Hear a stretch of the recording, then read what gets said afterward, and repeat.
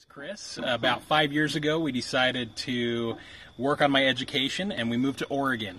We had a house that we had just purchased six months earlier in Utah, and we had the difficult decision of whether to put tenants in or whether we should um, sell the house. We decided to put tenants in and see how it would work, uh, but our tenants were less than reliable.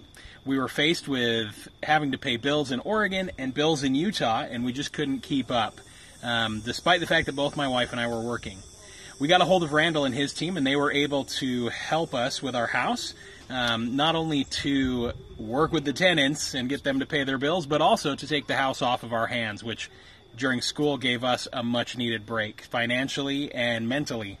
Um, we came out of school. I'm now an RN in the Midwest. Absolutely love my job and owe a lot of it to Randall and his team just for making everything happened to where we didn't have to try to decide whether we were going to face foreclosure or try to keep renting the house and figure out somewhere else money might be able to somehow come from. So, huge thanks to Randall.